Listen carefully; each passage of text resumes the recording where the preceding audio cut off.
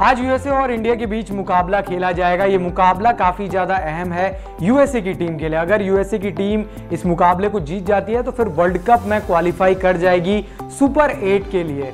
तो यूएसए की टीम काफ़ी ज़्यादा अहम देखना चाहेगी इस मुकाबले को। वहीं बात करें इंडिया की टीम की तो इंडिया की टीम जीतती है तो फिर वो भी सुपर एट में पहुँच जाएगी।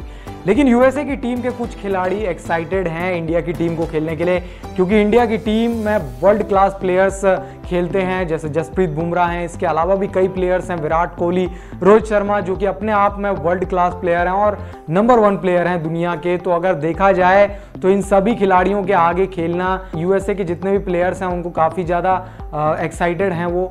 और उसलिए जितने भी प्लेयर्स हैं, वो सभी अपनी अपनी बातें रख रहे हैं इस मुकाबले से पहले, जिसमें एरन जोन्स को हमने सुना कि किस तरीके से उन्होंने कहा कि एक्साइटमेंट उनकी भी है। लेकिन अब जो एक गेंदबाज हैं, अली उन्होंने काफ़ी मज़ेदार बात उन्होंने कही है। उन्होंने विराट कोहली को लेकर कहा है कि विराट कोहली का एग्रेशन उन्हें काफ़ी ज़्यादा पसंद है।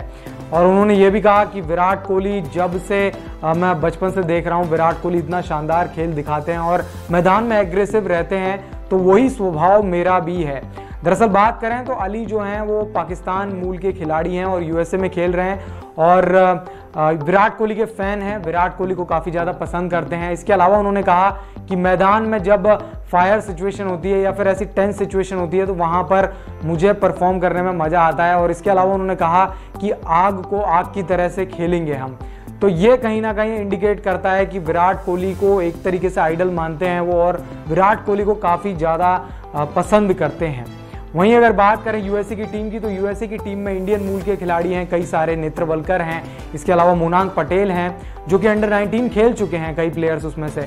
इसके अलावा अलग अलग देशों के खिलाड़ी हैं। इसके अलावा हम अगर देखें तो यूएसए की टीम इस बार वर्ल्ड कप खेल रही है और वर्ल्ड कप में काफ़ी अच्छा प्रदर्शन किया है, पाकिस्तान को हराया इसके बाद फिर यूएसए की टीम ने आयरलैंड को हराया। तो अब देखना होगा किस तरीके से यूएसए की टीम अगला मुकाबला खेलती है, लेकिन सबसे इंपॉर्टेंट मुकाबला इनका इंडिया के खिलाफ होने वाला है।